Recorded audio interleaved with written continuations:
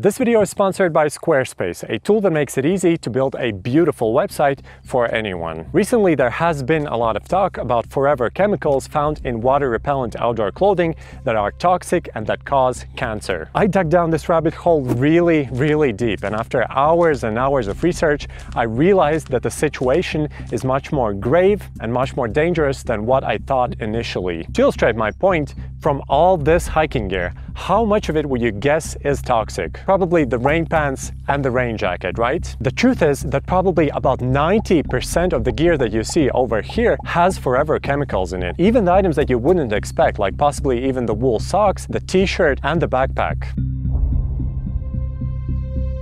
Forever chemicals, other called PFAS or PFCs, are a group of industrial chemicals that consist of a chain of carbon atoms surrounded by fluorine. When you apply these chemicals to other materials, it magically increases their durability, their water resistance, their oil resistance, and their fire resistance. They were invented back in 1934, and in 1950s, one of these chemicals called Teflon became widely used by DuPont for manufacturing non-stick cookware. Cookware never needs scouring. If it has DuPont, Teflon. Over the years, 3M and other manufacturers started using these chemicals in other applications as well, like cosmetics, carpets, ski wax, pizza boxes, paper coffee cups, and all of these other products. Regarding hiking gear, the most popular case is probably Gore-Tex. PFAS is actually what made Gore-Tex Gore-Tex because by using it in their membranes, it allowed their fabrics to be water resistant while still being breathable. PFAS were these magical chemicals that made everything better. Chemistry is the, is the practice of magic. Magic.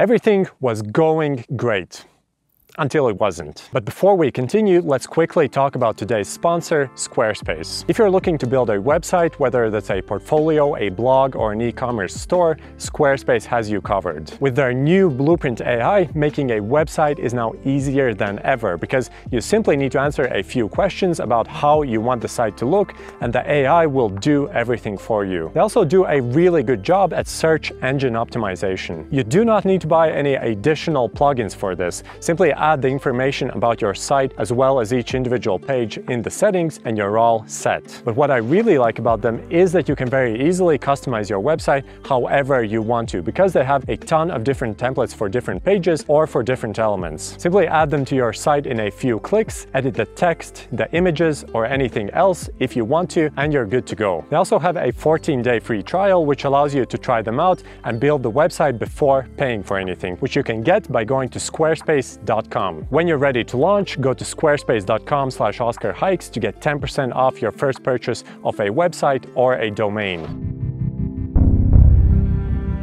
In 1998, one farmer sued DuPont because he was certain that the nearby plant that was manufacturing the chemicals needed for Teflon was what's causing their natural deaths in a lot of his cattle. And that was just the tip of the iceberg because up until 2017, DuPont alone has settled over 3,500 different lawsuits regarding PFOA related diseases. A lot of people realize that PFAS aren't these magical chemicals that fix everything, and instead they're more like a genie in a bottle not exactly what you wished for. It's extremely hard to prove the exact health effects of PFAS, but numerous studies have shown that they are toxic, that they cause cancer, and all of these other serious health effects. And what's even worse is that there's no safe amount for human consumption. Even ingesting one tiny particle increases your chances of having these bad health effects. And what's even, even worse is that these chemicals can and do bioaccumulate in your body. In only about five to eight years, about 50% of the PFAS that you ingested exit your body. And what's even, even, even worse is that they do not break down very quickly. They're called forever chemicals because in natural conditions, they do not break down for hundreds or even thousands of years. So when they get released out to the nature, either by washing your rain jacket through landfills and airports or from wastewater spills and release gases from factories, they do not break down over time. Instead, they seep down into the groundwaters and then to rivers, lakes, the sea, your tap water. The unfortunate reality is that nowadays nearly all of us have PFAS in our bodies because they're nearly impossible to avoid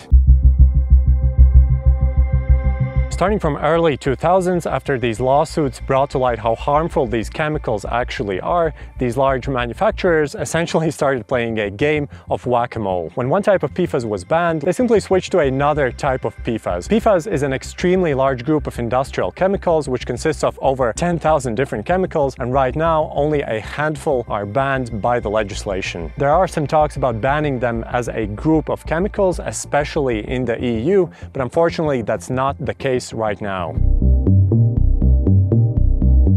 In 2016, Greenpeace tested over 40 different outdoors products for polyfluorinated chemicals, which included jackets, trousers, shoes, backpacks, tents, sleeping bags, and gloves from popular outdoor brands. They found these forever chemicals in all of these product categories except for the gloves. And from these 40 products that they tested, only four didn't contain any PFAS. Most commonly, PFAS in outdoor gear are used in the waterproof membranes of rain jackets, rain pants, tents, backpacks, dry sacks, and footwear, DWR treatments in treated down, and non-stick coatings for cookware. But very often, a lot of manufacturers also unintentionally use them in other types of products, like for example, base layers, merino socks, cotton or synthetic t-shirts, and other types of products. That's because they usually buy their materials or some part of their materials from third-party suppliers. And currently there aren't any laws that ask these third-party manufacturers to disclose whether they used PFAS in the manufacturing.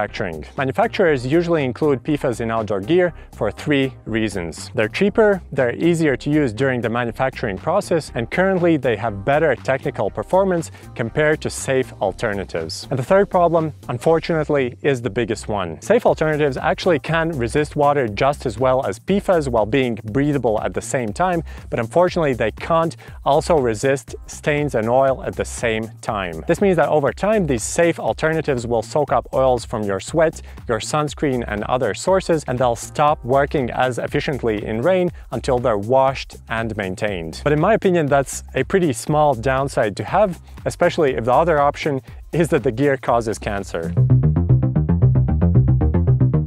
Luckily, there are some good news regarding PFAS and hiking gear. First of all, there are a few brands that have switched to PFAS-free manufacturing since as early as 2009. These include Nikwax, Paka Apparel, Keen Footwear, Mystery Ranch, Jack Wolfskin, Houdini, Vaude, Polartec, Fjällräven, Patagonia, and Deuter. Then there are a few brands that only market a few of their existing products as PFAS-free. Some of these include the Nemo tents with their new Osmos fabric, Arc'teryx, Black Diamond, Marmot, and Mammut. And then, unfortunately, there are a lot of other brands that are essentially dragging their feet and they're not willing to switch to PFAS-free alternatives. But luckily, things are about to change because California, New York, Massachusetts, and Maine have introduced new laws that will ban PFAS as a chemical group in most outdoor gear as early as 2025. This means that if these brands want to continue selling these products, especially in California, they'll need to go PFAS-free by the beginning of next year. Brands like Outdoor Research, Outdoor Vitals, and REI have promised to go PFAS-free by the beginning of next year.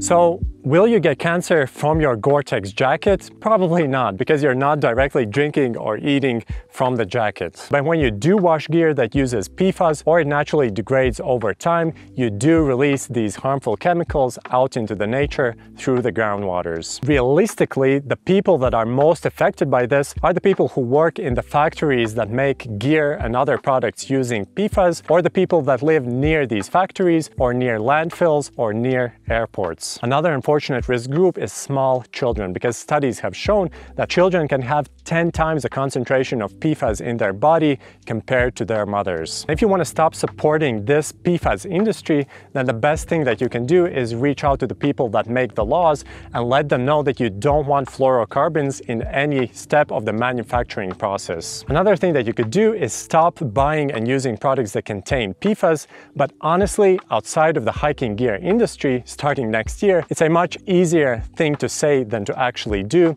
because unfortunately nowadays almost anything contains PFAS. And lastly, if you want to learn more about this subject, there's a very good podcast series from the Outdoor Minimalist, which I've linked out to down in the video description. If you're interested in hiking, check out the rest of my channel and consider subscribing. Thank you for watching and I'll see you next time. Bye!